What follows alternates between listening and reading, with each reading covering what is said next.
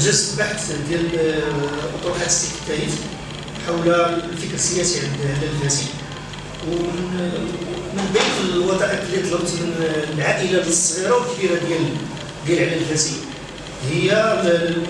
الرسائل الخاصة الرسائل الخاصة اللي كانت كيتبادل علال الفاسي مع مع الشخصيات اللي كان كيترسم معها. وما حصلش على هذه المعطيات.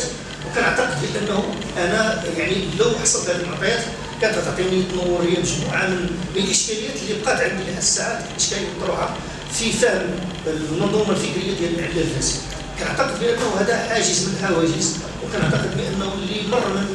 من تجربه البحث أكيد بأنه مر آه، لقى واحد العقله من هذه العقل